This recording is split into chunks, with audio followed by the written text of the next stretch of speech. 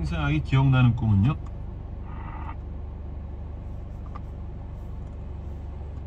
어, 기억나는 거죠. 좋습니다. 그, 그 정도의 차이죠 뭐 아마추어라